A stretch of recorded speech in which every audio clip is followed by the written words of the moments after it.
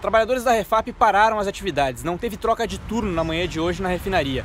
A categoria que já vinha se mobilizando contra a política de preços da Petrobras está estudando como aderir à greve dos caminhoneiros e deve ter um posicionamento até o final da manhã de hoje.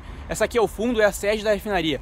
Mais para frente é o local onde ocorre a entrada e saída de caminhões e o ritmo segue o mesmo. Apenas é, saídas emergenciais estão ocorrendo. A única saída prevista para hoje deve acontecer daqui a pouco, são seis carretas de querosene que devem ser enviadas para o aeroporto Salgado Filho para atender 30% da demanda, o que seria um abastecimento até às 5 horas da tarde deste sábado.